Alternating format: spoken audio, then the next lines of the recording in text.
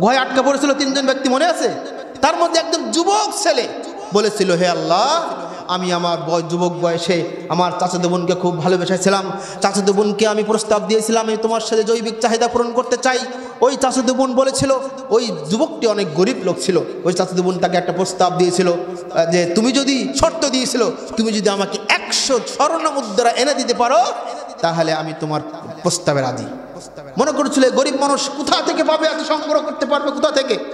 তখন ওই ছেলেটা অনেক পরিশ্রম করে, কষ্ট করে ওই সম্পদ সংগ্রহ করে ওই মেয়েকে বলছে, এই না তোর টাকা, আমার এবার সুযোগ দে। তখন একটা অন্ধকার ঘরের ভিতরে তারা দুজন চলে গেল, একটা নারী, একটা পুরুষ। যুবক যুবক, যুবতী চলে গেল।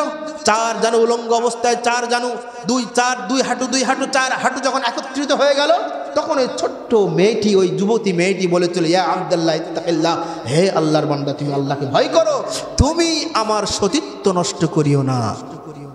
তখন ওই যুবকটি, ওই যুবক ছেলেটি ওই রকম অবস্থা থেকে ওই যুবক ছেলেটি উঠে এসেছিল।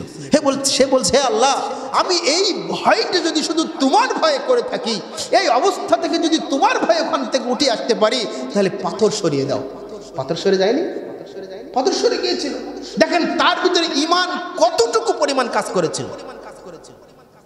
ওই অবস্থায় যদি তার ইমান ধাক্কা না দিত, আল্লাহ আমাকে দেখছেন, যদি এই অনুভূতি জাত করতে না হতো ওকে ওখান থেকে ফিরে আসতে পারতো? কিন্তু বলুন তো, এই ইমান কি আমাদের সমাজে, আমাদের যুবক ভাইদের মাঝে আছে? যদি ইমান থাকতো ওকে ঘুষ খাইতে পারতো? কারণ জানে ওই ঘুষ খাওয়ার কৈফিয়ত আল্লাহ আমাকে দেওয়া লাগবে।